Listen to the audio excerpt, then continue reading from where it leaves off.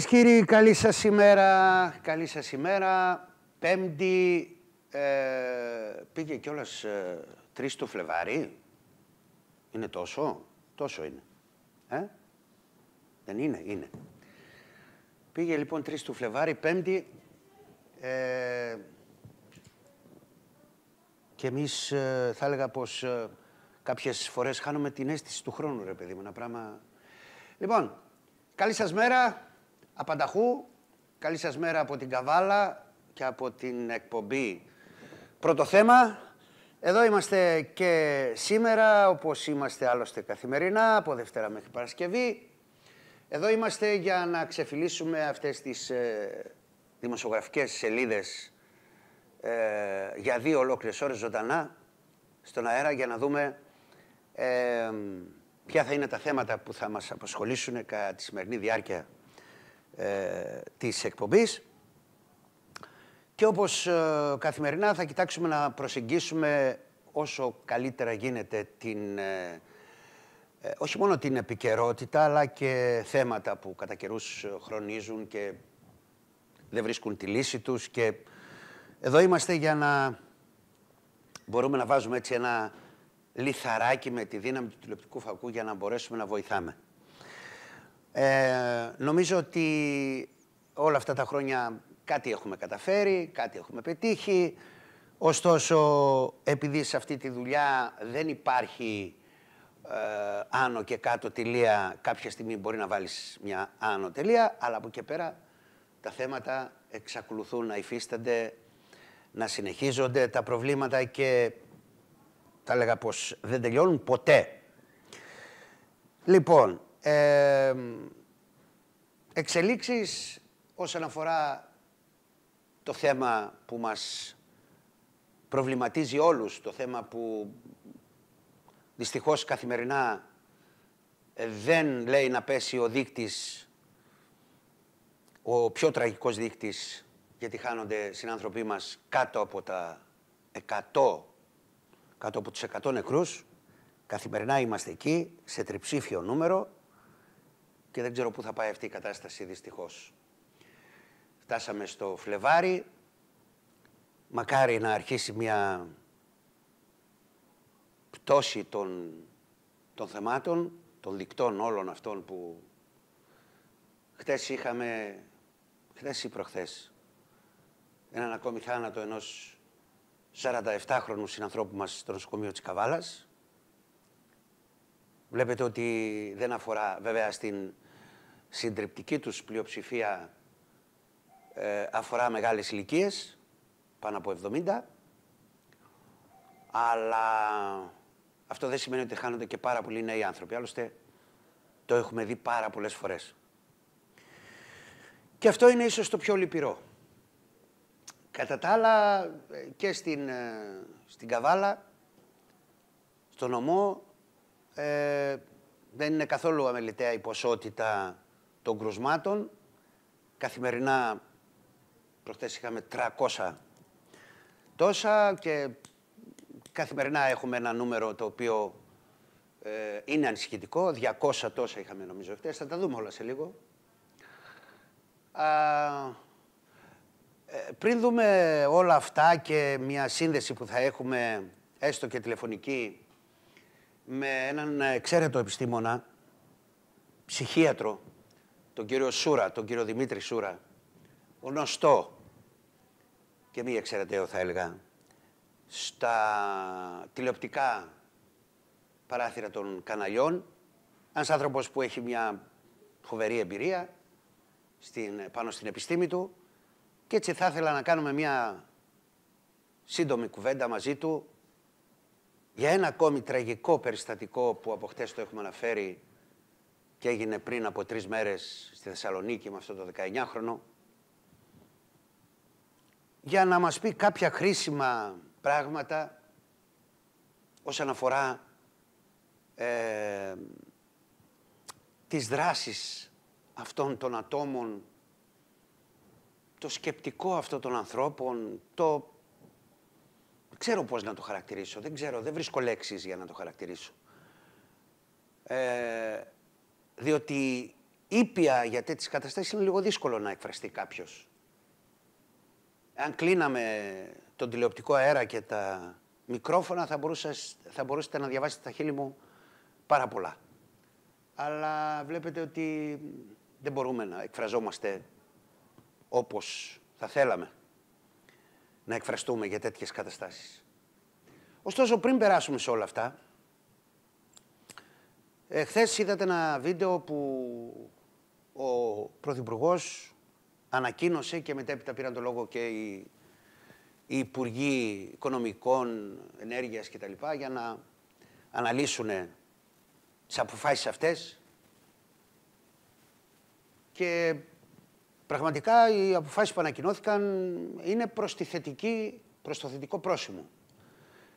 Δεν γίνεται να μην είναι προς το θετικό πρόσημο όπως και να τα δει κάποιος, όπως και να τα δει. Είτε αυτό που λέμε είναι πράσινο, κόκκινο, κίτρινο, μπλε, αυτό κτλ. Αν θέλεις να είσαι χωρίς κουρτινάκια μπροστά σου, χωρίς παροπίδες, χωρίς το ένα, χωρίς το άλλο, όπως και να γίνει είναι, είναι θετικό. Δηλαδή έχουμε ένα ευρώ στα χέρια μας και ο άλλος μας δίνει άλλα 50 λεπτά. Δεν είναι προς τη θετική κατεύθυνση. Το αν είναι λίγο, αν είναι πολύ, αν είναι αυτό, αυτό είναι άλλο θέμα. Δεν είναι προς τη θετική. Ενώ προς την αρνητική ήταν να είχαμε ένα ευρώ και να μας έπαιρνε τα, τα 50 και να μέναμε 50. Μήπως λέω κάτι λάθος; Όχι.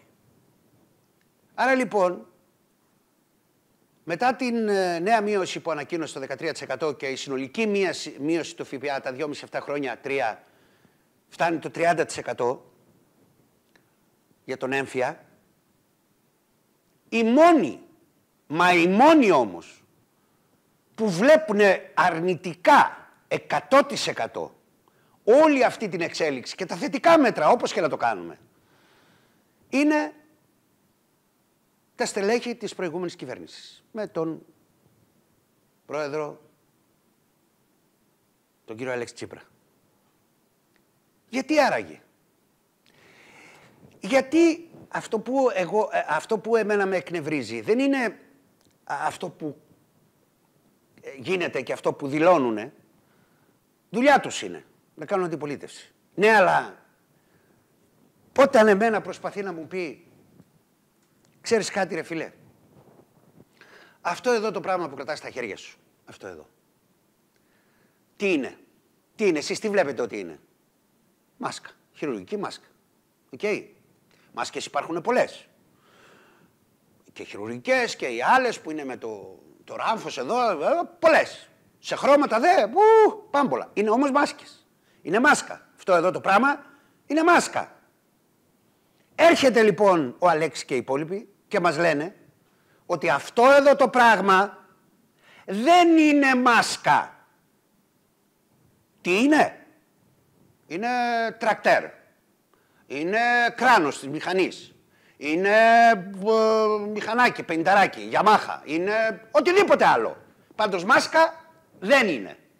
Και λες εσύ. Καλά ρε γαμότο.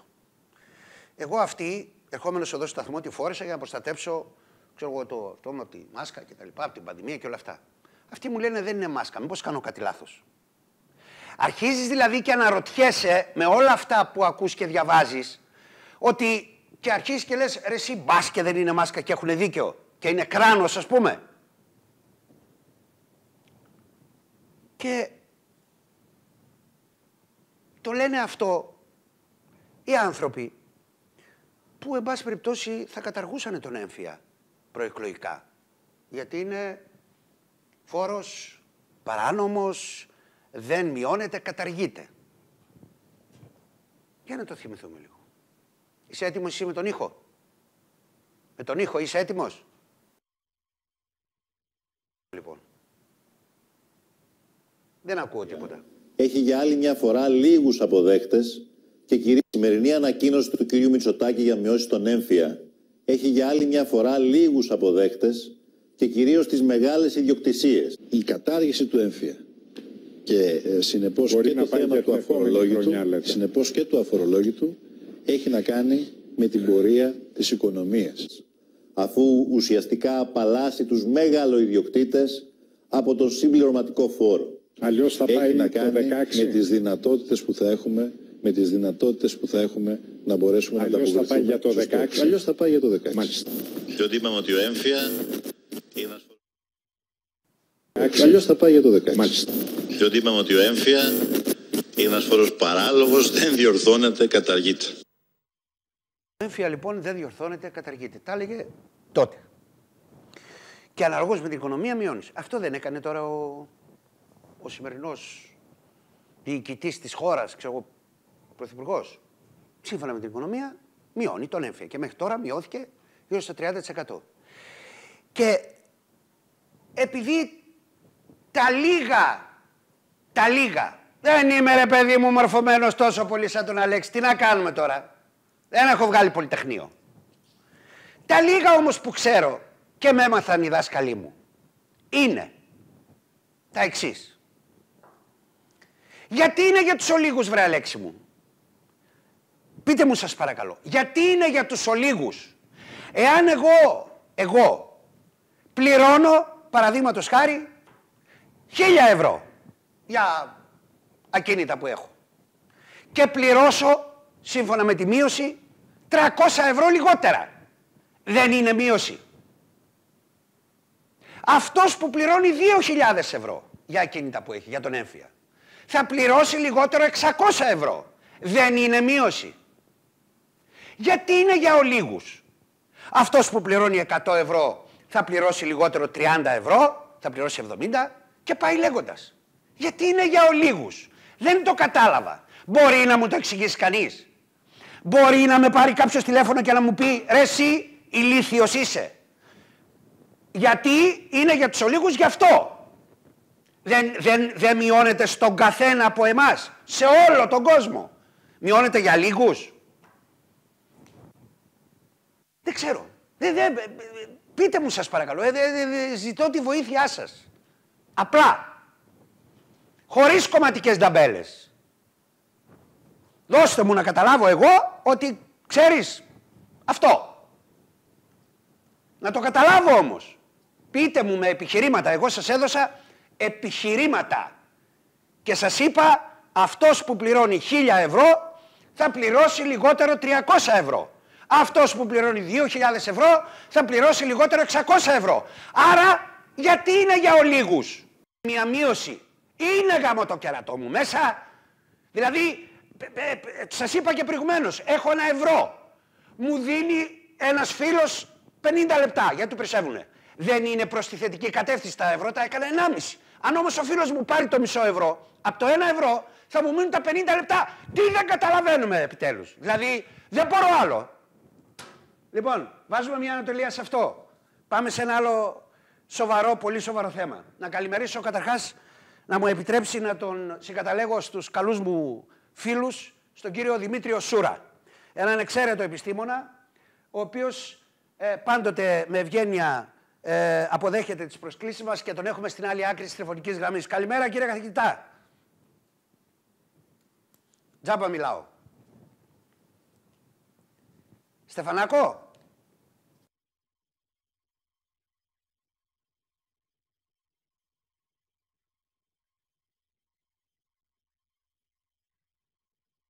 Τι κάθομαι και τα...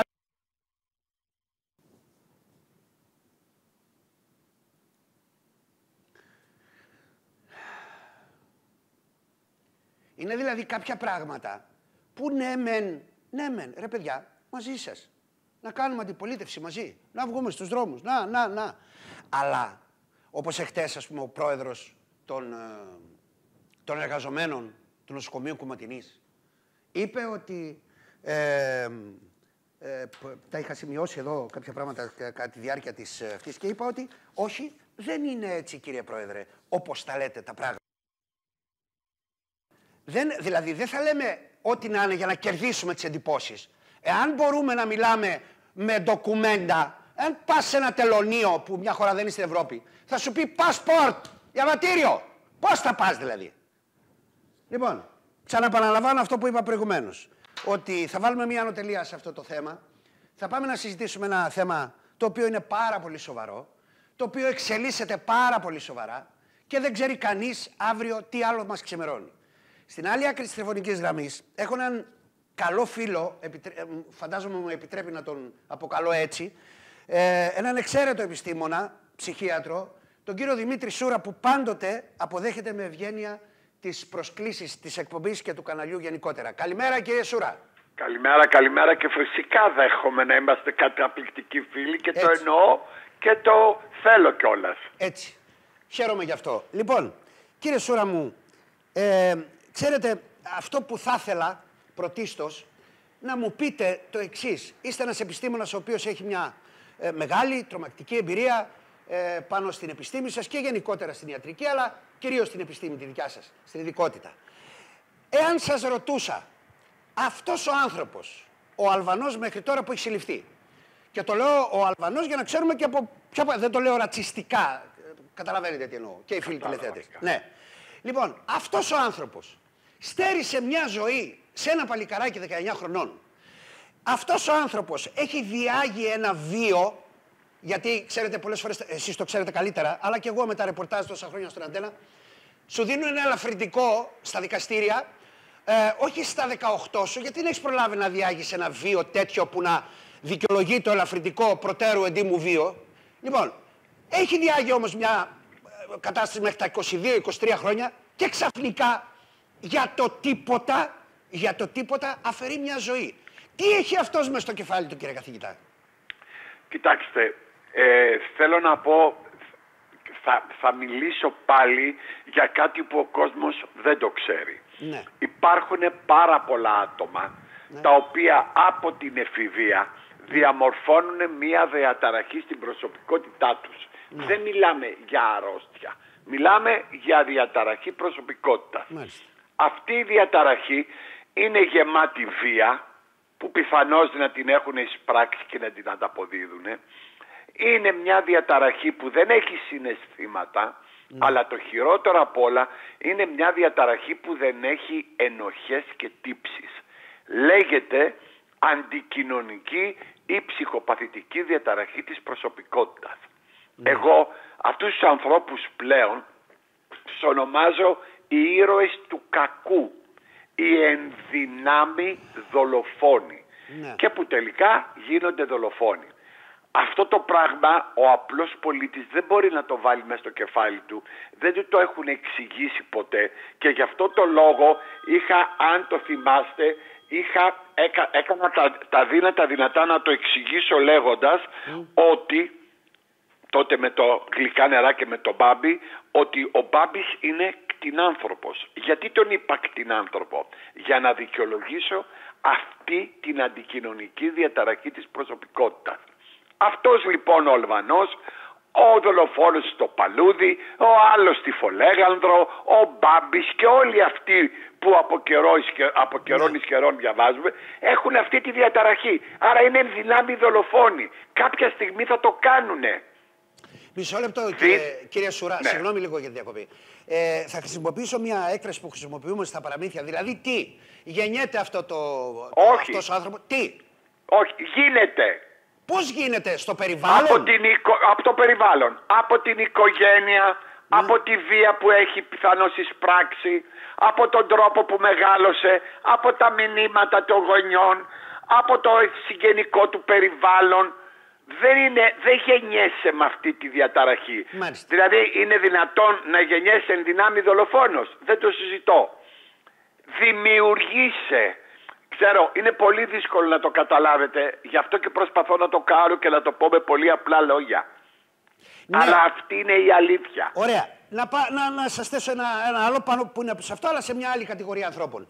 Ε, έχω ακούσει, δεν ε, ξέρω, δεν είναι σε αυτό, ότι άτομα, ας πούμε, ε, που σήμερα είναι γκέι, ομοφυλόφιλοι, ναι. είναι και εκδοθείς πολλές φορές, αλλά γίνονται και στην πορεία. Αυτό. Μην το, μην το πείτε ποτέ αυτό. Α, Είναι το τερα, τεράστιο λάθος. Α, για πείτε μου. Ο γκέι δημιουργ... Ναι. Καταρχήν η Παγκόσμια Ψυχιατρική Εταιρεία από το 1974 και μετά ναι. έχει ξεχωρίσει την ομοφυλοφιλία και έχει πει ότι είναι μια διαφορετική σεξουαλική προτίμηση. Ναι. Δεν ανήκει σε διαστροφή, δεν ανήκει σε ανομαλία, δεν ανήκει σε παρέκκληση. Από το 1974. Δηλαδή άλλο η ομοφιλοφιλία, άλλο ο παιδεραστής, ο σοδομαζοχιστής κτλ. κτλ. Λοιπόν, η ομοφιλοφιλία δεν είναι ούτε κολλητικό νόσημα, ούτε αρρώστια, ούτε τίποτα. Είναι μια διαφορετική σεξουαλική επιθυμία που δημιουργείται πάλι μέσα από την οικογένεια. Ναι, γιατί λένε, ας πούμε, σε κάποιες περιπτώσεις ότι το παιδί αυτό είχε περισσότερα θηλυκά... Πώς δεν, υπάρχει, Α, δεν, δεν υπάρχει. Έχει γίνει μια, ε, ε, πέρυσι έγινε μια φοβερή εργασία στην Αμερική με 37.000 Αμερικανούς. Ναι. Ε, ομοφιλόφιλους και ομοφιλόφιλα κορίτσια ναι. που συμμετείχαν στην έρευνα. Αλλά ούτε ένα δεν βρέθηκε με διαφορετική ορμονική διαταραχή. Ούτε ένα δεν βρέθηκε ότι ήταν άρρωστο, ούτε ένα δεν είναι άλλοι. Από... Να το ξεχάσουμε αυτό το θέμα. Ναι. Τα αφήνουμε λοιπόν. Ήταν μια παράμετρος που ήθελα να Ωραία, ακούσω. Μου το, μου το ρωτήσατε, γι' αυτό σας το και Χαίρομαι, και χαίρομαι πολύ που μαθαίνω ε, κάποια πράγματα που κακά τα ψέματα όλοι δεν μπορούν να τα ξέρουμε όλα. Ε, ε, θέλω να επανέλθω στο θέμα αυτό της δολοφονίας του, του παλικαριού του 19χρονου.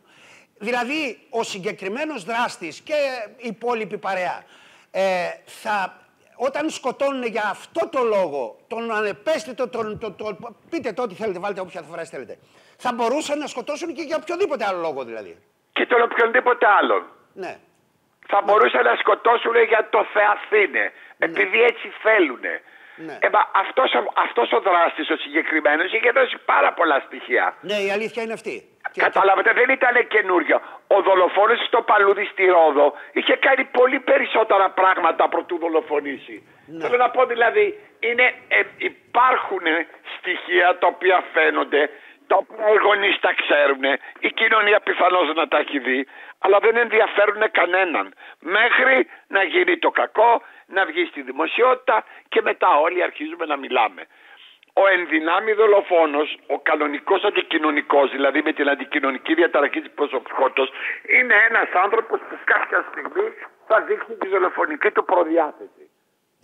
Ε, το, νομικό μας, το νομικό μας σύστημα ε, τι ευθύνη φέρει πάνω σε τέτοιου είδους εγκλήματα; Εννοώ με τους νόμους που ψηφίζουν θα πρέπει να γίνουν πιο αυστηροί, θα πρέπει να γίνουν πιο ε, ε, ξέρω εγώ, να βλέπουμε ένα τέτοιο άτομο και αμέσως να ε, ε, επιλαμβάνει ξέρω εγώ, το, κάποια υπηρεσία να... Δεν, δεν ξέρω, δεν... Ας αρχίσουμε καταρχήν ναι. να πούμε ότι οι νόμοι στην Ελλάδα υπάρχουν για να παραβιάζονται. Μάλιστα. Δεύτερον, οι αλλαγές των νόμων ποτέ δεν επέφεραν κάποιο αποτέλεσμα για τον απλούστατο λόγο ότι πρώτα μιλάμε για σοφρονισμό και μιλά, μετά μιλάμε για τιμωρία. Ναι. Όσο για τη λέξη τιμωρία στην Ελλάδα γελάει και το μωρό αν την προφέρω. Καταλάβατε. Δεν ναι. υπάρχει τιμωρία στην Ελλάδα, τα ξέρουμε όλοι. Στην Ελλάδα μπαίνεις, βγαίνεις ξενοδοχειακά. Σε φιλοξενούν οι φυλακές, βγαίνεις έξω, ξαναγυρνάς τα 15-10, τα 18, τα 8-3 και τελικά είσαι έξω. Άρα λοιπόν ούτε κανείς την υπολογίζει την τιμωρία, αλλά το χειρότερο είναι ότι δεν υπάρχει και σοφρονισμός για να μπορεί κάποιος να αναπλαστεί μέσα στη φυλακή. Το οποίο όμως στην αντικοινωνική διαταραχή της προσωπικότητας είναι από τόσο δύσκολο μέχρι σχεδόν αδύνατο.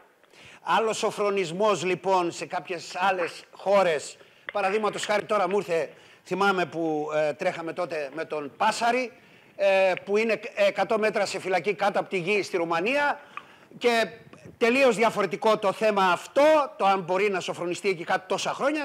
Άλλο ο Κορυδαλός ή πολύ περισσότερο κάποιες άλλες φυλακές. Δεν το συζητώ. Ο Πάσαρης, ο δολοφόνος Πάσαρης, μένει και εξακολουθεί να είναι κλεισμένος στη φυλακή. Ναι. Πείτε μου έναν δολοφόνο που έχει κάνει τα ίδια που έχει κάνει ο Πάσαρης που είναι στη φυλακή. Έξω είναι. Ναι, ναι. Η αλήθεια είναι αυτή. Καταλάβατε. Άρα λοιπόν για ποια τιμωρία μιλάμε; Για το σοφρονισμό ξεχάστε το επαναλαμβάνω. Αλλά για ποια τιμωρία μιλάμε; Μάλιστα. Ε, ε, ε αυτός ο άνθρωπος κύριε Σουρά, εάν ας πούμε παραδείγματος χάρη αύριο δικαστή κλειστή στη φυλακή, τώρα βέβαια το είπατε εμέσως πλησαφώς θα έλεγα, αλλά Θα βγει. Σε 10-12 χρόνια ξέρω θα βγει. Είναι 23 σήμερα, 25-35, μια χαρά ηλικία. Θα μπορέσει, θα μπορέσει, ίσως είναι λάθος η τοποθέτηση, μπορεί να το ξανακάνει. Εννοείται. Μάλιστα. Σας παραπέμπω στον δολοφόνο του Σεριανόπουλου του ηθοποιού. Α, ναι. Ο οποίος κλείστηκε στις φυλακές της Κρήτης και δύο μήνες πριν αποφυλακιστεί σκότωσε το συγκρατούμενό του. Μάλιστα. Για μια αιτία που στην πραγματικότητα δεν υπήρχε. Μαλώσανε και τον καθάρισε με ένα λεπίδι που είχε φτιάξει ο ίδιος. Τι μου συζητάτε τώρα; Το θυμάμαι ε, και... Μιλά... Το θυμάμαι και νομίζω ότι ήταν και κοντά για να βγει από τη φυλακή τότε. Σε δύο-τρεις μήνες έβγαινε. Μάλιστα, μάλιστα. Και ούτε αυτό δεν υπολόγισε. Μάλιστα. Αν δεν καταλάβουμε τι πάει να πει ενδυνάμει δολοφόνος, αν δεν καταλάβουμε τι πάει να πει αντικοινωνική διαταραχή προσωπικότητας, δηλαδή ένας άνθρωπος χωρίς συναισθήματα, χωρίς ενοχές, χωρίς τύψεις, δεν πρόκειται να μπορέσουμε να αντιμετωπίσουμε σωστά αυτούς τους δολοφόνους. Κύριε Σουρά, θέλω να σας Και το κακό είναι ότι εσείς και εγώ ας μην το καταλαβαίνουμε. Ναι. Η πολιτεία δεν πρέπει να το καταλάβει. Εδώ ακριβώς θέλω να θέσω το επόμενο ερώτημά μου. Σας φωνάζει αύριο ο Πρωθυπουργός της χώρας, όποιος είναι, και σας λέει, κύριε Σουρά, θέλω να δημιουργήσω μια δεκαμελή επιτροπή. Πώς είναι η 28 μελής επιτροπή σήμερα της υγείας, να δημιουργήσω μια επιτροπή με 10 ανθρώπους. Την, το τμήμα, το, το, την τομέα της ψυχιατρικής τον έχετε εσείς. Θέλω να ακούσω λοιπόν την πρότασή σας τι πρέπει να κάνουμε με αυτά τα άτομα πριν φτάσουμε σε τέτοιου είδους ε, εγχειρήματα, ε, δολοφονίες. Σας ευχαριστώ πολύ. Δεν ναι. θα γίνει αυτό. Ε, εγώ έτσι κι αλλιώς είμαι πολύ ευχαριστημένος που έχω τη θέση όχι, μου. το θέτω έτσι για να ακούσω... ναι. ναι. Εγώ λοιπόν θα έκανα, θα ξεκινούσα να βάζω ψυχολόγους και ψυχιάτρους στα σχολεία. Μάλιστα. Θα, για να εκπαιδεύσω τα παιδιά τους δασκάλους και μία φορά το μήνα θα δημιουργούσα τη σχολή γονέων. Ναι. Θα στελέχωνα με ικανά άτομα αυτή την προσπάθεια ούτως ώστε να μην δημιουργούνται αυτές οι διαταραχές και να είναι ενημερωμένοι και οι δάσκαλοι και τα παιδιά και οι γονείς για βασικά θέματα ψυχολογίας και ψυχιατρικής. Μετά, σε συνεννόηση με το κράτος, θα προσπαθούσα να ενημερώσω τον κόσμο. Μου κάνει πάρα πολύ μεγάλη εντύπωση που η ΕΡΤ, που είναι δημόσιο κανάλι, δεν έχει μία εκπομπή την εβδομάδα, σωστά, νυχτερινή, όπου να μιλάμε για αυτά τα θέματα, να μιλούν επιστήμονες και να δεχόμαστε και ερωτήσεις. Πολύ, σω, πολύ, πολύ σωστή παρατηρήση αυτή. Πάρα μου κάνει πολύ μεγάλη εντύπωση που δεν το κάνει το δημόσιο κανάλι. Ναι. Δηλαδή που δεν φωνάζει επιστήμονες και αφήνει τον κάθε τυχάρπαστο να λέει ό,τι του κατέβει, να κάνει το καταξάρετε καλύτερα από ναι, μένα ναι, λόγω της δημοσιογραφικής ασφυτείας. Άρα λοιπόν αυτό είναι ένα άλλο βήμα και επίσης θα ήθελα μία επιτροπή επιστημόνων να συμμετέχει με το Υπουργείο Δικαιοσύνης όταν παίρνονται οι αποφάσεις ούτως ώστε να δούνε τι υπάρχει, τι πρέπει να κάνουμε, τι εφαρμόζεται, ποιο γίνεται χωρίς να παραβιάζουμε τα δικαιώματα των ανθρώπων αλλά χωρίς να θρυνούμε 18χρονα παιδιά στα καλά του καθουμένου γιατί αυτή τη στιγμή που εμείς μιλάμε μια οικογένεια έχει κλείσει. Τα είπατε, τα είπατε όλα νομίζω και ε, τώρα βέβαια μου είπατε τα αυτονόητα τα οποία σε άλλες χώρες υπάρχουν έτσι. Αυτό ακριβώς. Ναι. Αυτό ακριβώς. Σε άλλες χώρες υπάρχουν. Και μη συγκρινόμαστε με την Αμερική και με αυτά. Εκεί είναι 300 ναι, εκατομμύρια. Εδώ είμαστε 10 εκατομμύρια. Ναι. Επιτρέπεται αυτή τη στιγμή κάθε μέρα, μα κάθε μέρα, να έχουμε και ένα περιστατικό δολοφονίας, παιδεραστίας, βιασμού, σεξουαλικής παρενόχλησης, ενδοοικογενειακής βίας. Τι, πάμε ρε παιδιά. 15 γυναικοκτονίες έτσι όπως τις λένε. 18, 18. 15 ήταν το 21, πόσο 18. 17 το 21 και, και μία στην αρχή του 22, 18. Ωραία, ωραία. Φοβερά στοιχεία. Επιτρέπεται σε μία τόσο μικρή Ελλάδα, τα οποία εμείς Όλα αυτά επειδή έχουμε μικρή μνήμη τα ξεχνάμε, ναι. τα ξεπερνάμε.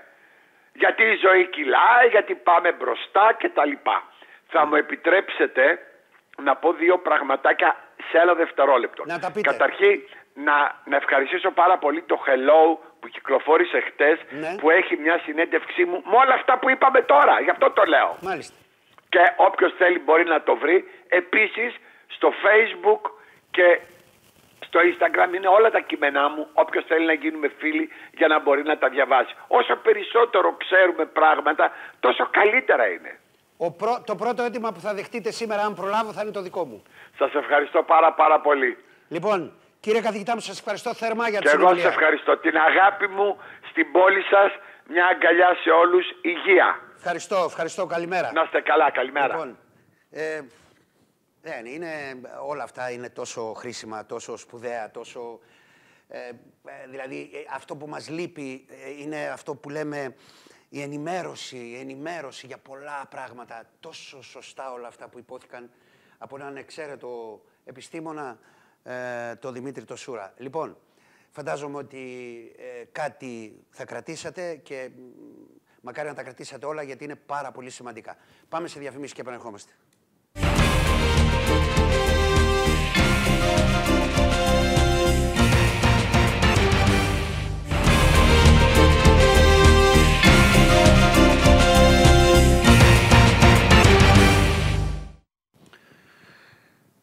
Λοιπόν, και μετά την ε, πολύ ε, έτσι ενδιαφέρουσα συνομιλία που είχαμε με τον καθηγητή, τον ψυχίατρο, τον κύριο Δημήτρη Σούρα από την Αθήνα και για όλα αυτά τα ενδιαφέροντα που μας είπε και νομίζω ότι είναι πάρα πολύ καλό και να μπαίνετε στο YouTube να τα παρακολουθείτε στη, από την εκπομπή Πρώτο Θέμα αλλά και να παρακολουθείτε αυτήν την εκπομπή διότι ε, η δική μας αποστολή είναι μέσα από την... ε, να υπάρχει δηλαδή ένα κομμάτι ενημερωτικής τηλεόρασης, όχι μόνο προβλημάτων και όλα αυτά, αλλά ακούστηκαν τόσο ενδιαφέροντα πράγματα σήμερα που καλό θα είναι να τα ξέρουμε, διότι δεν μπορεί να τα ξέρουμε όλα.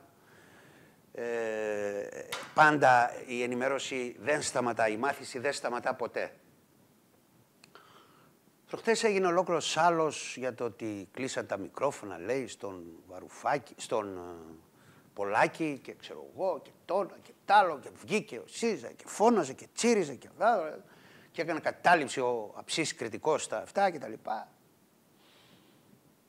Και βγαίνει ο κύριος ε, Γιώργος Τσίπρας, απλά ξάδερφος του πρώην Πρωθυπουργού, μιλώντας ε, στον Γιώργο τον Παπαδάκη και λέει το να κλείσουν λέει τα μικρόφωνα στη Βουλή δεν έχει ξαναγίνει από τη μεταπολίτευση και μετά. Λέει. Και επειδή εγώ σε αυτήν την εκπομπή έχω πει πάρα πολλές φορές ότι καλό θα είναι ρε παιδί μου θες να κάνεις αυτή τη δήλωση έτσι. Ή δεν την κάνεις αφού δεν γνωρίζεις και κάνεις τον Κινέζο που λέμε, στην απλή καθομιλουμένη, ή τουλάχιστον αν την κάνεις να, να γνωρίζεις τι έχει συμβεί στο παρελθόν. Ε, αυτό δεν είναι σωστό. Αυτό δεν πρέπει να γίνει. Για ακούστε λίγο. Το προχτεσινό είναι ότι έκλεισε το μικρόφωνο σε ένα βουλευτή ο πρόεδρος τη Βουλής. Σηκωθείτε, παιδιά, δεν γίνεται αυτό το πράγμα, δεν γίνεται. Εντάξει.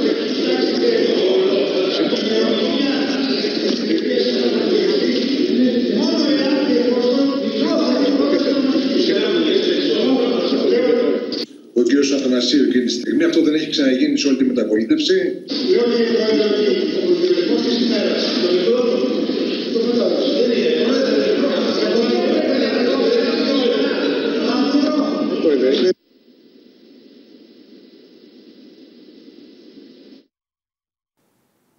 Τι συμβαίνει και μετά από κάποιο διάστημα κλείνει; Ξαναδώσ' το.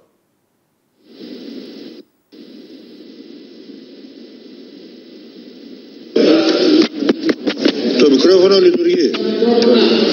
Ποιος έχει κλείσει τα μικρόφωνα. Συγγνώμη, ποιον έχει κλείσει. Στιγμή αυτό δεν έχει ξαναγίνει σε όλη τη μεταπολίτευση. Αυτό είναι το βασικό. Είπε ο κύριος Τζόρτζ, ε, όχι Κλούνεϊ, Τσίπρας, ότι δεν έχει γίνει σε όλη τη μεταπολίτευση αυτό το πράγμα. 27 Τετάρτου του 17 με κυβέρνηση ΣΥΡΙΖΑ έγινε. Δεν εγώ δεν θα πω γιατί έγινε, δεν θα πω γιατί προχτές έγινε, γιατί δεν έγινε, γιατί, γιατί δεν θα πω σε αυτό το τρυπάκι. Αλλά... Αχ, λέει κάποιες παροιμίες τώρα είναι λίγο, λίγο αυτές και δεν μπορώ να τις πω. Γι' αυτό που λέει ότι ο λύκος το τρίχωμά του το αλλάζει, αλλά τις συνήθειες του δεν τις αλλάζει. Ε, τι λέτε. Ναι. Δεν ξέρεις βρε αγοράκι μου. Δεν ξέρεις. Ρώτα. Πέτε ρε παιδιά, εγώ θα φιλοξενηθώ σήμερα στον Παπαδάκη, στον Τζέλιο, στον ξέρω εγώ. Αν με ρωτήσει αυτό το πράγμα για τα μικρόφωνα, τι να πω, έχει ξαναγίνει ας πούμε; Θα σου πούνε ναι, έχει ξαναγίνει επί ε, δικιάς μας ε, διακυβέρνησης. Σωστό δεν είναι αυτό; Σωστό είναι. Τι είπε ο καθηγητής προηγουμένως, ψυχιατρικής, ο κύριος Σόρας, ότι έχουμε κοντή μνήμη. Και αυτό είναι πάρα πολύ κακό να έχεις κοντή μνήμη. Λοιπόν, στριμώχνει λέει η Ευρώπη την Τουρκία για τον Καβαλά. Καλά. Τι είχες Γιάννη, τι είχα πάντα. Στριμώχνει τώρα η Ευρώπη και Κλάι που λένε στην καθομιλουμένη, ναι, ο, ο Ερντογάν. Το άλλο το ακούσατε το ωραίο με τον Γελατζή Σουλτάνο έβγαλε λέει εμβόλιο. Η Τουρκία λέει έβγαλε εμβόλιο και προτείνει στους Τούρκους ε, πολίτες κτλ. Να το, να το πάρουν, να το κάνουν, να το ράνουν και βγήκε λοιπόν το Υπουργείο, ε, όχι το Υπουργείο, οι υγειονομικοί, οι γιατροί, το ένα, το άλλο κτλ. Λέει ποιο εμβόλιο αυτό, λέει σκέτο ορό, νεράκι, ξέρω εγώ. Ναι, τώρα βέβαια μετά από αυτή τη λέω δεν ξέρω πώς θα κλείσει μέσα, αλλά πάντως ε, ο Τούρκος λέει έβγαλε εμβόλιο. Άκου ρε παιδιά, αυτός ο άνθρωπος δεν παλεύεται. Το έχει απολέσει τελείως. Τελείως όμως. Αλλά εκεί τα, τα, τα, τα, τα πλήθη εκεί που τους έχει μαντρωμένους όλους φωνάζουν από κάτω το Σουλτάνο και το χειροκροτάνε. Εντάξει. Τώρα το επόμενο παλάτι δεν ξέρω που θα το χτίσει μετά τη Μαρμαρίδα, πάντως ε, δεν θα κάνει και ένα τρίτο του, κερατά δηλαδή. Φτάνουν ένα-δύο. Φτάνει ο Μπαχτσές εκεί στην Κωνσταντινούπολη, ε, έτσι λέγεται κάπως. Ε, φτάνει αυτό στη Μαρμαρίδα. Τι Ερντογάν είναι αυτός, έχει 68.000 πόδια και άλλα τόσα η Εμινέ. Λοιπόν, ε, στριμώχνει λέει η Ευρώπη την Τουρκία για τον Καβαλά. Τον κρατάνε τον άνθρωπο χωρίς απολύτως κανένα στοιχείο επιβαρυντικό. Χωρίς. Χωρίς κατηγορία, χωρίς, χωρίς, χωρίς, χωρίς.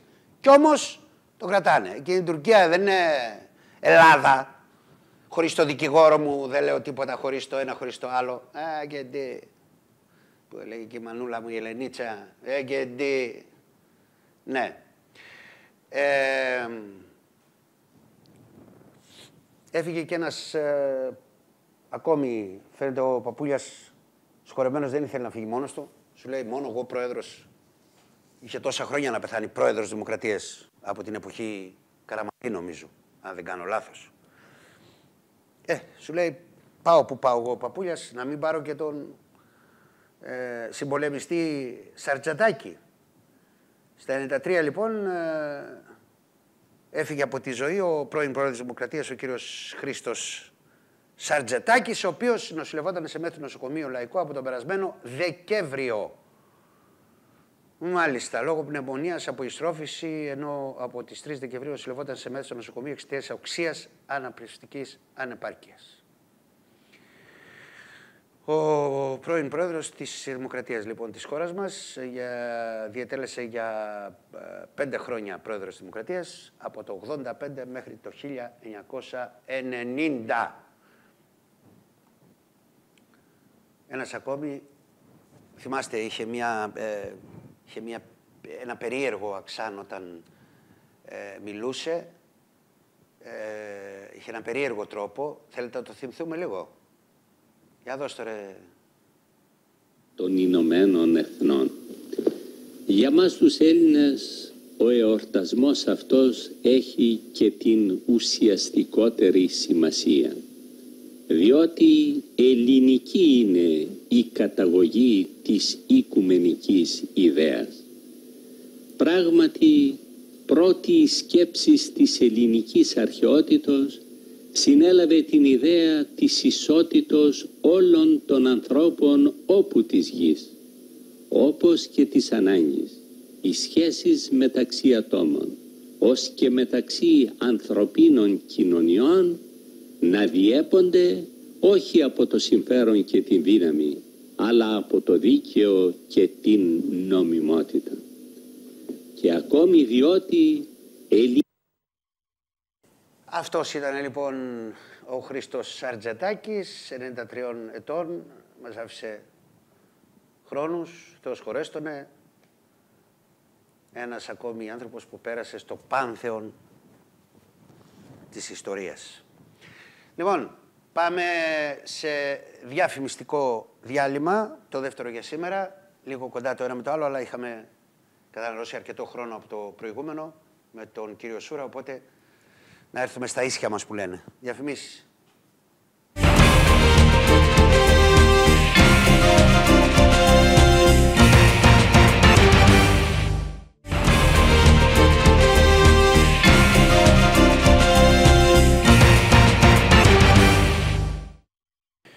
Έτσι λοιπόν με αυτά και με αυτά περνάμε στο τρίτο μέρος της, ε, και της σημερινής εκπομπής πρώτο θέμα.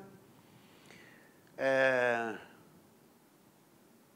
τα είπαμε, νομίζω, κατά τον καλύτερο δυνατό τρόπο μέχρι τώρα και χαίρομαι που μπορούμε σαν εκπομπή να βάζουμε ένα λιθαράκι μικρό, μεγάλο, αυτό θα το κρίνετε εσείς, ε, όσον αφορά την ε, ενημέρωση, διότι ο, ο ενημερωμένος πολίτης ε, σε κάθε σημείο, σε κάθε χώρα, σε κάθε, σε κάθε, να ξέρετε ότι πάντα είναι κερδισμένος σε όλα αυτά τα θέματα.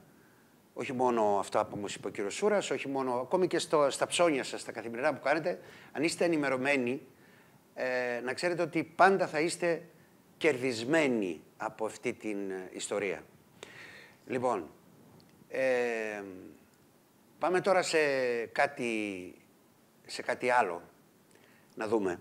Πριν πάμε όμως αυτό και μέχρι να το ε, ψάξω και βρω κατά τον καλύτερο τρόπο, θέλω να πάμε... Ε, θέλω να πάμε... Πού να πάμε. Ε, προχωρούν οι εργασίες. Είναι ένα ενδιαφέρον κομμάτι αυτό όσον αφορά το φυσικό αέριο και την πόλη της Καβάλας. Ε, οι εργασίες βρίσκονται έτσι αρκετά ε, σε καλό σημείο θα έλεγα, θα ενταθούν επιπλέον ε, περαιτέρω, αλλά έχουν ξεκινήσει και οι εργασίες για τη νέα εποχή για την ε, Εγνατία και το αεροδρόμιο του Αμυγδαλεώνα. Θέλω λοιπόν, καμεραμαναντζή σκηνοθέτη, να πας σε ένα από τα δύο. Σε αφήνω να επιλέξεις εσύ να το δούμε, να ενημερωθούμε μέχρι να βρω.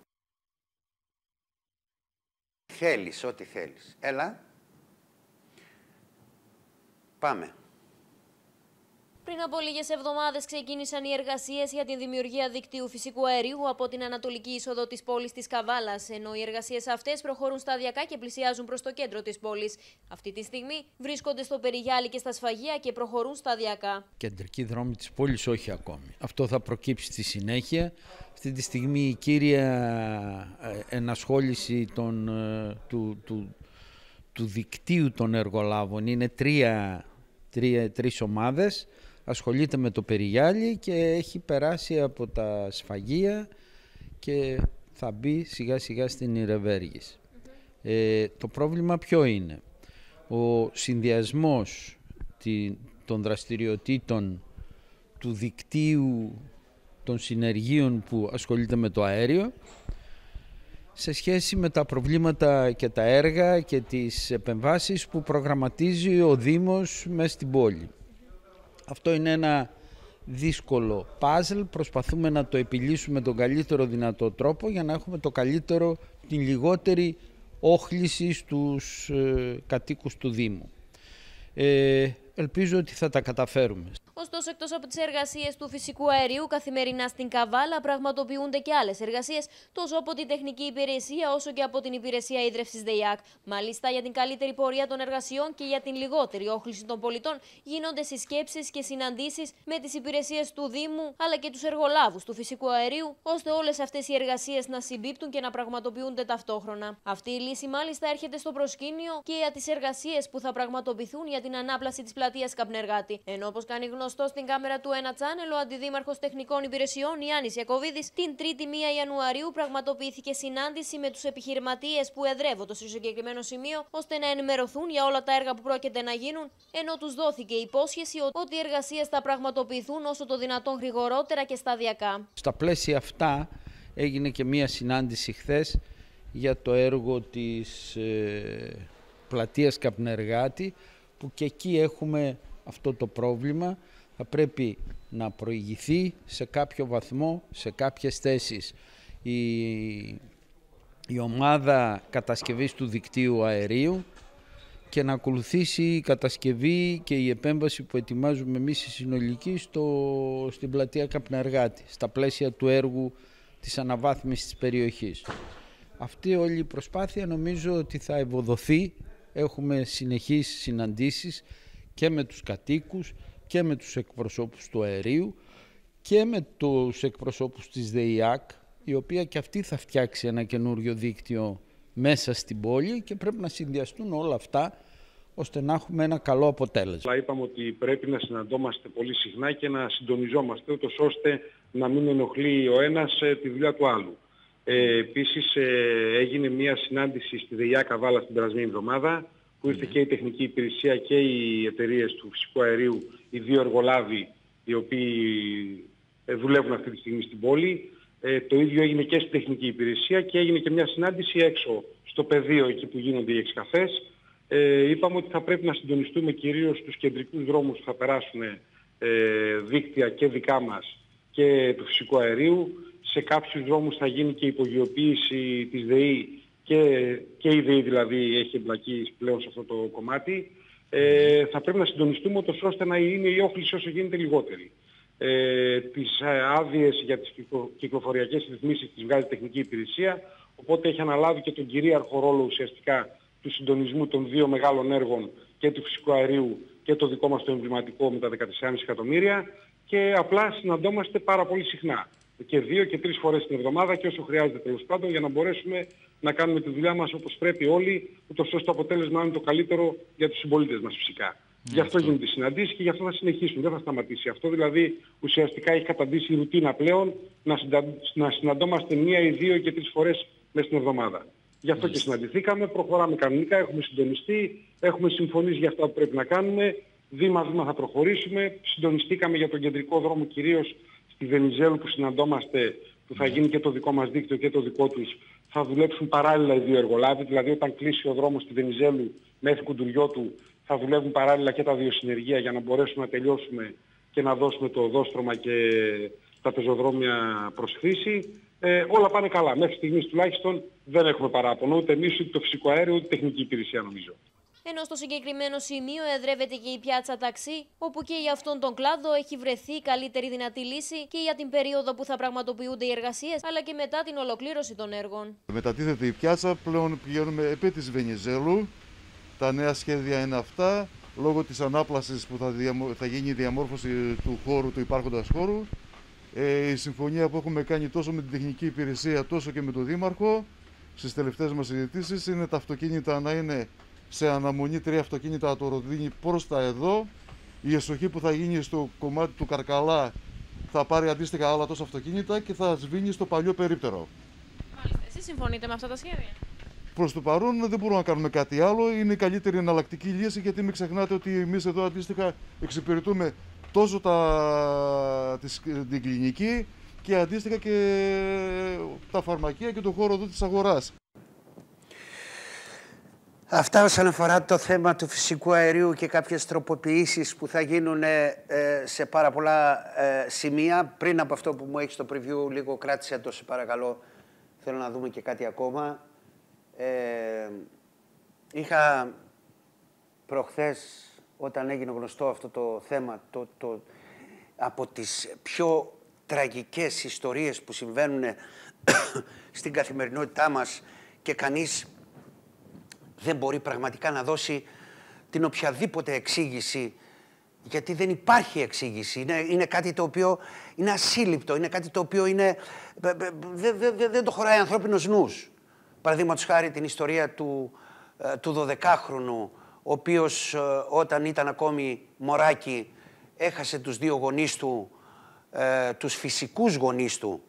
Έμεινε λοιπόν ορφανό και το υιοθέτησε μια άλλη οικογένεια και στα 12 του, μόλις προχθές, ε, χάνει και τους άλλους γονείς, τους θετούς γονείς του από κορονοϊό. Φεύγει δηλαδή και ε, η γυναίκα και ο σύζυγος και μένει το παιδάκι αυτό μία φορά όταν γεννήθηκε και μία φορά όταν έφτασε στα 12, μένει για δεύτερη φορά ορφανό. Και έρχεται κανείς και αναρωτιέται και λέει «Μα πώς είναι δυνατόν να γίνονται τέτοια πράγματα, δεν μπορεί να συμβαίνει, δεν το χωράει το μυαλό του ανθρώπου αυτό το πράγμα». Είναι, είναι ασύλληπτο, είναι αδιανόητο, είναι... Δεν, ξέρω, βάλτε εσείς μια φράση που θέλετε. Και ερχόμαστε μετά σε μια άλλη τραγική, τραγικότατη ιστορία που ούτε αυτή ακόμη περισσότερο μπορεί να το χωρέσει ανθρώπινο μυαλό όταν χάνει μία οικογένεια στην Πάτρα και τα τρία της παιδιά. Η μητέρα λοιπόν έκανε μια ανάρτηση η οποία όχι απλά αραγίζει καρδιές, όχι απλά συγκλονίζει, όχι απλά σου φέρνει έτσι δάκρυα χωρίς να το θες στα μάτια. Ε, λίγο μετά τον αποχαιρετισμό του τρίτου παιδιού της, της, της εννιάχρονης Τζορτζίνας, η οποία έφυγε και αυτή από τη ζωή, η μητέρα λοιπόν λέει «Σας γέννησα και σας έδωσα ζωή. Όμως σας έχω θυμώσει γιατί αφήσατε την αγκαλιά μου άδεια. Ήσουν το στήριγμά μου, αναφέρεται στο τελευταίο παιδί που έφυγε, ο λόγος που γελούσα, ο λόγος που έπαιρνα δύναμη να συνεχίσω. Ήσουν μαχήτρια μέχρι τελευταία στιγμή γελούσες, μας κοίταγες χωρίς να μπορείς να μιλήσεις και μας έλεγαν τα μάτια σου όλα αυτά που ήθελες να μας πεις. Καλό ταξίδι, με τσιμπονάκι μου, καλή αντάμωση με τις αδερφούλες σου, για μένα δεν φύγατε και δεν θα φύγετε ποτέ. Σας αγαπάω, η μαμά σας. Το δράμα της οικογένειας αυτό στην Πάτρα έχει προκαλέσει παγκόσμια συγκίνηση, όχι απλά πανελλήνια συγκίνηση. Και τα τρία παιδιά της οικογένειας, τρία κοριτσάκια, έφυγαν τα τελευταία τρία χρόνια. Το 2019 η οικογένεια έχασε τη Μαλένα, το 2020 τη μικρή Ήριδα μόλις έξι μηνών και το απόγευμα του περασμένου Σαββάτου έφυγε από τη ζωή και η Τζορτζίνα. Και καθόμαστε και μυρολατρούμε αν θα πάμε διακοπές, πού θα πάμε διακοπές, αν έχουμε ψωή στην ψωμιέρα και αν δεν έχουμε τι θα φάμε και αν αυτό και τι θα φορέσουμε και τι θα πιούμε και τι θα... και πώς θα κάνουμε κακό στους ανθρώπους, στα ζώα. Τις ακούσατε αυτές τις δύο περιπτώσεις; Τόσο του αγοριού του 12χρονου σήμερα, όσο και της οικογένειας από την Πάτρα. Αν αυτό δεν γίνει δίδαγμα στον καθένα από εμάς ξεχωριστά, τότε λυπάμαι, αλλά μάλλον σε, δρά, σε λάθος δρόμο βρισκόμαστε. Αυτό είναι κάτι παραπάνω από σίγουρο.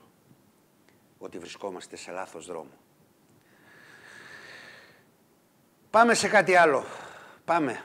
Πάμε γιατί σήμερα πια, δεν ξέρω, έχει μαυρίσει η ψυχή μου με όλα αυτά που συμβαίνουν. Κοιτάξτε εδώ, για να δείτε για μια ακόμη φορά, για φανταστείτε αυτό να γινόταν στην Αθήνα, τι θα έβγαινε Τσίπρας δεν θα έκανε μία πρόταση μορφής, θα έκανε πέντε μαζεμένες. Τι έγινε λοιπόν στη Σαντορίνη.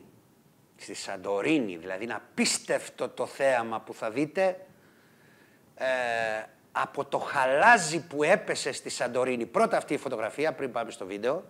Δώστη. Εδώ κοιτάξτε. Αυτό όλο είναι χαλάζι. Όχι απλά έχει αλλάξει ο πλανήτης. Όχι απλά έχει αλλάξει, έχουν αλλάξει τα καιρικά φαινόμενα. Όχι απλά ε, είναι πράγματα τα οποία ποτέ κανείς μας, τουλάχιστον αυτοί που ζουν σήμερα, από 0 έως 120 χρονών δεν έχουν δει.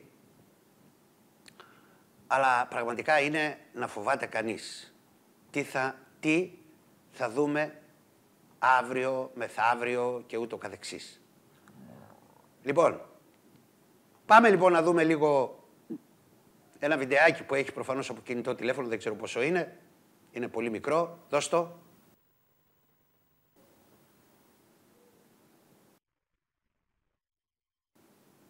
Ναι. Ε, δεν ξέρω γιατί, ο ήχος είναι ανοιχτός, σε πάση περιπτώσει. Ε, βλέπετε λοιπόν τις ε, καταστροφές που έχει, έχουν γίνει από τις πλημμύρες, από το χαλάζι που έλειωσαν τα, το παγωμένο χαλάζι και δημιούργησε όλη αυτή την κατάσταση. Φαντάζομαι θα δούμε και άλλο βίντεο. Α, είναι ένα ακόμα εδώ. Δώσ' το και αυτό. Και αυτό δεν έχει ήχο. Κάτι με τον ήχο είναι από εκεί μέσα. Είμαι σίγουρος. Όχι, δεν υπάρχει περίπτωση. Έχουν ανοιχτό ήχο, τραβάει ήχο. Δεν νομίζω ότι υπάρχει κάτι από εδώ. Μάλλον από μέσα κάτι συμβαίνει, κάποιο κουμπάκι, κάτι αυτό, κάτι τόνα, κάτι τ' άλλο. Έχει συμβεί πάρα πολλές φορές. Ε, ξαφνικά το ανακαλύπτουμε και λέμε «Α, εντάξει, τώρα έχει ήχο». Ναι. Λοιπόν, ε, έχουν, έχουν δημιουργηθεί απίστευτα σκηνικά στη Σαντορίνη και όχι μόνο στη Σαντορίνη και στην Πάρο και δεν ξέρω πού αλλού. Ε, να το, αν μπορέσουμε να κάνουμε μια νέα προσπάθεια, γιατί ο ήχος είναι αυτός που έχει ε, και έτσι λίγο περισσότερη σημασία. Για να δούμε αυτό εδώ, μήπως και έχουμε ήχο.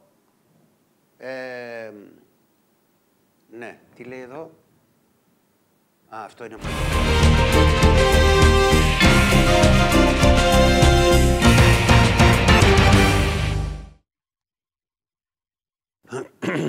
λοιπόν, Επιστρέψαμε για την ε, τελική ευθεία και της ε, σημερινής εκπομπής πρώτο θέμα κυρίες και κύριοι και θα πρέπει να, ε, βλέπω ότι έχουμε χρόνο, θα πρέπει να δώσουμε ε, προτεραιότητα και σε ζωντανές συνδέσεις.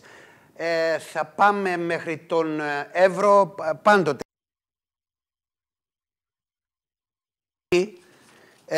Αναφέρεται όχι μόνο στον ε, νομό Καβάλας. Άλλωστε πλέον δεν είμαστε τοπικό κανάλι.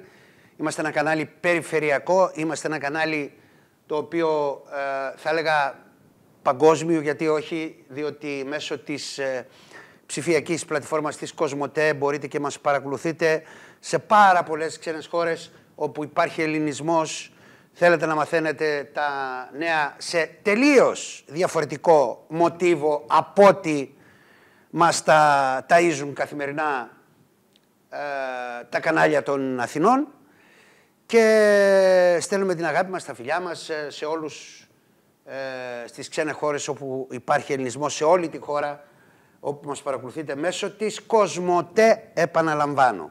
Είναι μια εκπομπή η οποία έχει αποδείξει επανειλημμένες φορές ότι έχει να κάνει με την καθημερινότητα, έχει να κάνει με τον άνθρωπο, έχει να κάνει με τα προβλήματα, ε, τα οποία βεβαίως, βεβαίως σε κανάλια των Αθηνών δύσκολα θα τα δείτε από τη στιγμή που ανοίγουμε ένα κανάλι το μόνο που ακούς είναι ότι πέθανε εκείνος και δεύτηκε εκείνη ε, και να δείχνουν και δύο ιστορίες και μας, μας μαυρίζουν την ψυχούλα. Λοιπόν, ε, τι να, πόσο να περιμένω ακόμα, τελειώσουμε και μετά θα το βγάλεις στον ευρώ. Ε; Κάτσε δεν. Λοιπόν, ε, αλλά υπάρχουν και κάποια ε, ε τόσες πολλές ειδήσεις καθημερινά δυσάρεστες, ρε παιδί μου, που δεν μπορείς να τις να τις αποφύγεις. Α πούμε, εδώ τώρα διαβάζω στην Καλαμάτα ε, πέθανε 63χρονη από κορονοϊό 15 μέρες αφού κατέληξε και ο γιος της από τον ίδιο λόγο. Πώς μπορείς ας πούμε, να παρακάμψεις αυτή την, την είδηση και να μην την πεις και να μην την αναφέρεις όταν καθημερινά χάνονται συνάνθρωποι μας ε,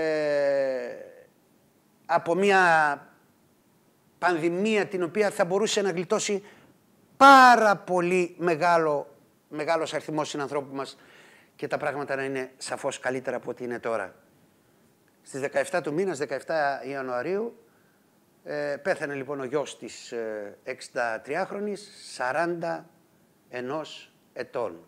Στην ίδια μονάδα νοσηλευόταν και η μητέρα του, η οποία και αυτή κατέληξε προχθές την Τρίτη. Κρίμα, κρίμα, κρίμα. Η γυναίκα ήταν μητέρα του 41 πατέρα τριών παιδιών παρακαλώ ο πατέρας, ο γιος της δηλαδή, 41 ετών. Τι να πω ρε παιδιά, δεν ξέρω, δεν, δεν, δεν, δεν μπορώ άλλο. Πάμε μια βόλτα μέχρι τον Εύρο. Ε, ο Τόλης, ο Ατζεμιδάκης. Την, ε, την καλημέρα μας λοιπόν εδώ από την Αλεξανδρούπολη, από το Πανεπιστημιακό Γενικό Νοσοκομείο της ε, πόλης. Ε, δίπλα μου ο Διευθυντής ΜΕΘ και καθηγητής ο κύριος Βασίλης Παπαϊωάννου. Να πούμε την καλημέρα μας αρχικά κύριε Παπαϊωάννου και καλό μήνα εδώ. Λοιπόν, να ξεκινήσουμε λίγο Άγγελε να μεταφέρουμε την εικόνα που υπάρχει αυτή τη στιγμή στο Πανεπιστημιακό Γενικό Νοσοκομείο Αλεξανδρούπολης. Πολύ Ποια καλά. εικόνα της ε, όσον αφορά και τις νοσηλίες COVID αλλά και non-COVID κύριε Παπαϊωάννου. Για το νοσηλευτικό προσωπικό δηλαδή, Άγγελε, αυτό είναι το μεγαλύτερο πρόβλημα που υπάρχει. Όχι τόσο οι κλίνες, αυτό πρέπει να περάσουμε και εδώ από το νοσοκομείο. Είναι σε ύφεση αυτή τη στιγμή οι νοσηλίες. Αυτό μας μεταφέρει και ο κύριος Παπαϊωάννου τώρα. Ε, λόγω της μετάλλαξης όμικρων που δεν χρειάζεται και περισσότερη νοσηλεία. Η Δέλτα όμως ακόμη παραμένει. Αυτό, αυτό να το ξεκαθαρίσουμε γιατί ακούστηκαν αρκετά. Είδαμε χθες εικόνες από διάφορα νοσοκομεία. Αυτό δεν ισχύει για τα νοσοκομεία και της περιφερειάς μας, πόσο μάλλον δεν εδώ στο Πανεπιστημιακό Γενικό Νοσοκομείο της Αλεξανδρούπολης. Άγγελε, ε, βλέπουμε ότι τα κρούσματα είναι σε μία ύφεση. Πάντως, ε, οι νοσηλίε δηλαδή, ότι τα κρούσματα, κρούσματα είναι, τα κρούσματα, τα κρούσματα είναι πάλι στο ψηλά. Παραμένουν οι νοσηλίε κατά κύριο λόγο. Τώρα ακούγεται σωστά. Απόστολε, θέλω να ρωτήσω τον κύριο Παπαϊάνο, που ναι. βέβαια δεν είναι η δική του αρμοδιότητα, ναι. αλλά ε, όσον αφορά το θέμα της ε, δωρεάς ε, για το PET scan ε, ε, άρχισε να λειτουργεί, που ναι. είναι ένα τεράστιο πρόβλημα της περιφέρειας και όχι μόνο. Θα το ρωτήσω εγώ προς τον κύριο Παπαϊωάννου, αν και νομίζω ότι καλύτερες απαντήσεις θα μας δώσει ο κύριος Ρούφος, ο διοικητής του νοσοκομείου. Ναι. Όσον αφορά το PET scan, αν έχετε κάποια ενημέρωση, αν έχει ξεκινήσει. Αυτό αφορά τον κύριο Ζησιμόπουλο και τη διοίκηση. Δεν έχω καμία σχέση το PET scan. Είναι σε διαδικασία ολοκλήρωσης. Αυτό ξέρω. Μάλιστα. Αυτό. Ε, Πάντως, ε, να πούμε, Άγγελε, ότι στο πλαίσιο της εκπομπής αυτόπτης Μάρτυρας, με τα νέα επεισόδια τα οποία θα γίνουν, θα έχουμε γενικότερα μια πλήρη εικόνα με την κατάσταση των νοσοκομείων, ιατρονοσηλευτικό προσωπικό, τι γίνεται, τι συμβαίνει, πώς έχουν βιώσει αυτές τις εμπειρίες του COVID, γιατί πρόκειται περί εμπειριών μεγάλων της πανδημίας, και αν καταφέρανε αυτά τα νοσοκομεία που είπαμε και οι νοσηλευτές και οι γιατροί που μείνανε πίσω να μείνουν ε, φυσικά και πώς περάσανε όλα αυτά σε αυτές τις στιγμές με τον COVID να μείνουν αλόβητοι, θα μπορούσα να το πω. Μου επιτρέπεις ένα σύντομο, μου θα έχουμε, μου ναι, ναι. ένα σύντομο ναι, ερώτημα ναι, στον κύριο Παπαγιάννου. Ε, με την απόφαση την μάλιστα, τελική μάλιστα, που έχει πάρθει για το τέλος Μαρτίου με αυτούς που βρίσκονται σε αναστολή. Συμφωνεί, διαφωνεί και γιατί; Με την απόφαση που από τη 31 Μαρτίου και μετά οι ανεβολίες στη υγειονομική θα ε, φύγουν από το Εθνικό Σύστημα Υγείας, θα αποχωρήσουν, συμφωνείτε ή διαφωνείτε; Εγώ προσωπικά διαφωνώ.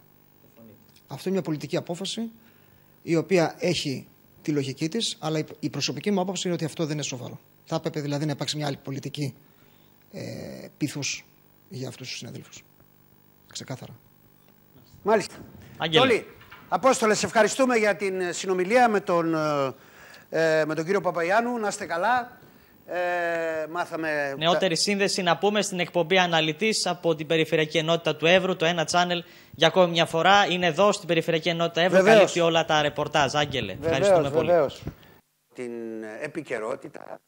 Ε, έτσι ένα, όσο παραδείγματος χάρη συνενετικό διαζύγιο με λίγα κλικ. Πλέον το συνενετικό διαζύγιο μπορεί να βγαίνει και μέσα μέσω διαδικτύου. Είναι αυτή η πολύ καλή δουλειά που είπαμε ότι κάνει ο κύριος Πυριακάκης στον τομέα αυτό και πάρα πάρα πάρα πάρα πολλές διαδικασίες έχουν εξομαλυνθεί και μπορεί κανείς να, ε, ε, εφόσον γνωρίζει, να πετύχει ή να διεκπαιρεώσει ε, πάρα πολλά θέματα μέσα από το διαδίκτυο. έτσι λοιπόν πιο εύκολη γίνεται η διαδικασία έκδοσης συνενετικού διαζυγίου για όσα ζευγάρια επιθυμούν να ακολουθήσουν χωριστούς δρόμους. Λέτε να υπάρχουν ζευγάρια που θέλουν να ακολουθήσουν χωριστούς δρόμους; Και εγώ θα πω ου. Λοιπόν, ε, ναι.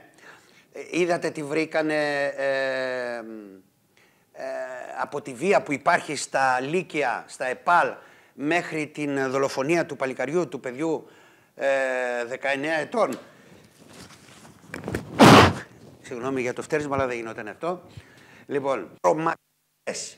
Ε, το τι βρέθηκε μέσα στα, στα καταλήμματα όλων αυτών. Ναι. Αυτό βέβαια που ε, δεν το βλέπω εδώ. Ε, βρέθηκαν τα πάντα από φωτοβολίδες, ε, τσεκούρια, μαχαίρια, ό,τι, ό,τι, ό,τι μπορεί να φανταστεί ο καθένας. Ε, βρέθηκαν ε, μετά από έρευνα που έγινε και ήδη έχουν δοθεί στην δημοσιότητα.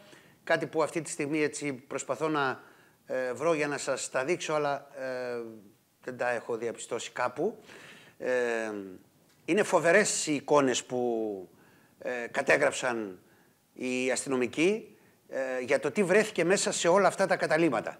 Ε, ακούσαμε άλλωστε τον κύριο Σούρα προηγουμένως που μας μίλησε και μας έδωσε έτσι μια πολύ καλή πληροφόρηση για να μάθουμε τι ακριβώς συμβαίνει σε όλα αυτά τα άτομα. Δυστυχώς. Δυστυχώς. Δολοφονία στη Θεσσαλονίκη, οι κούγε πήγαν για να σκοτώσουν. Πίσω από την υποδική ιδιότητα υπάρχει εμπόριο ναρκωτικών και προστασία. Καλά.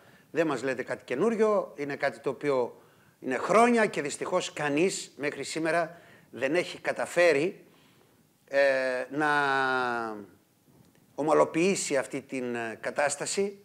Ξαναλέω, κανείς όμως.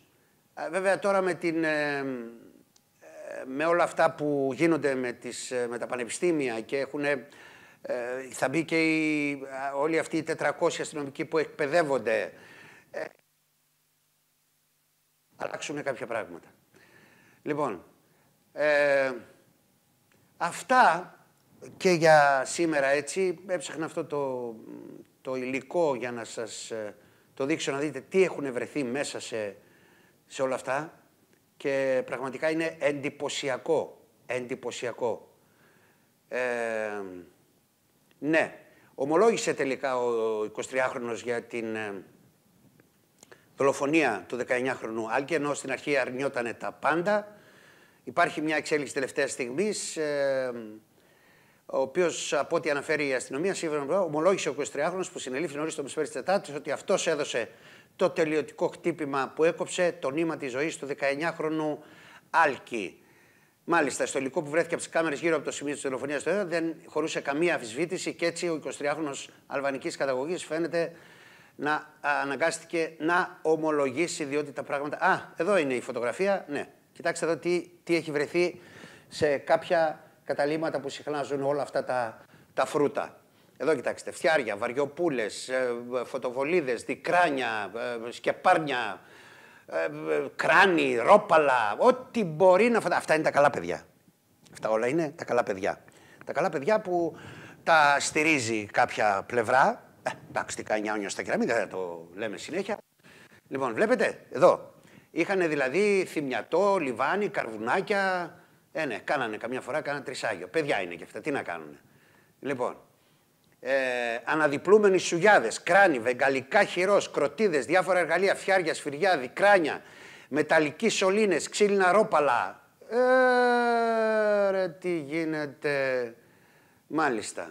Και μία εικόνα του Αγίου Σώστη, γιατί μόνο ο Άγιος Σώστης μπορεί να μας, να μας σώσει από τέτοια παρόμοια φαινόμενα. Και βέβαια έχουμε εκφράσει και πάλι την άποψή μας για το τι πρέπει να γίνεται με τα συγκεκριμένα άτομα τουλάχιστον που προβαίνουν σε τέτοιες στιγνές δολοφονίες. Ποιος τώρα θα το βάλω εγώ στη φυλακή τώρα αυτόν, να τον ταΐσω, να τον κάνω, να τον ράνω. Όχι ρε φίλε. Επειδή εγώ δεν μου αρέσει να λέω μεγάλα λόγια και αύριο ε, μπορεί να φτάσω ακόμη και στη θέση που λέει ο Λόγκος αν και εφόσον και ομιγέννητο και, και, και ακόμη και να, ε, να φτάσω πούμε, στο σημείο να πάρω αυτό εδώ το, το, το, το υγρό παράνομα. Λέω εγώ τώρα, έτσι. Γι' αυτό λέει μιλές, ποτέ μιλές ποτέ. Αλλά να φτάσουμε σε τέτοια σημεία, να αφαιρέσουμε μια ζωή ενός 19χρονου ανθρώπου και να το βάλω εγώ αυτόν στη φυλακή και να τον ταΐζω και να τον ποτίζω και να τον προσέχω, όχι. Εδώ με δέκα χέρια βάζω υπογραφή για θανατική ποινή, για τέτοιου είδους εγκλήματα. Με δέκα χέρια. Και ας πάρω εγώ την αμαρτία από τον Πανάγαθο. Εντάξει. Λοιπόν, εδώ τελειώσαμε. Ε, και για σήμερα, πέμπτη, τρεις του μήνα πήγε. Και σήμερα είναι και κάποια γιορτή. Ξέρεις εσύ, αλλά πού να ξέρεις εσύ για χουβάσας του. Εδώ. Δεν θέλω να δεις, μπορώ να δω και μόνος μου. Λοιπόν, ε, εσύ να κοιτάξεις τα άλλα που, που γίνεται ο κακός χαμός. Μαζευτείτε εκεί τέλος πάντων η τεχνική, κάντε μια σύσκεψη, συνεννοηθείτε για να μην υπάρχουν αυτά τα προβλήματα. Γιαρτάζει λέει σήμερα; Και ο Γρηγόρης, το κόκκινο και το πράσινο. Μάλιστα. Ο Σταμάτης λοιπόν, χρόνια πολλά στο Σταμάτη, στη Σταματία κτλ. κτλ. Ε, σταμάτη, Σταμάτιος, ε, Στάμος, Σταμούλης, ο Σταμούλης Ολοχίας. Ναι, η Σταματία, η Σταμάτα, η Σταμέλα, τι ονόματα είναι αυτά; Λοιπόν, αυτά και με τη γιορτή, χρόνια πολλά σε όσους γιορτάζετε τέλος πάντων. Ε, να είστε καλά, εις αύριον τα σπουδαιότερα. Κυρίες και κύριοι, καλή σας μέρα.